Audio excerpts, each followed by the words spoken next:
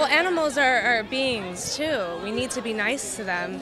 And I love animals. I think I love animals more than I love humans. you know, and there's so much cruelty out there, and it's just despicable. And um, I've been vegan for four years now. You know, when I saw the videos of cows getting slaughtered the way that they are with, with the gun, it just made me just so sick to my stomach. And they're such beautiful creatures. And you know, in India, they're the holiest animal. So they roam around the streets in Rishikesh. It's absolutely stunning. So I just, I just think that just watching chickens being grinded is just, ugh. It's so disgusting, and we can we can live off of vegan food. We don't need, yeah.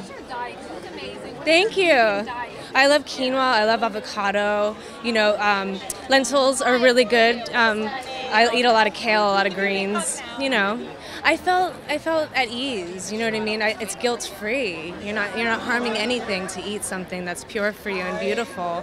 So and it's it's nutritious.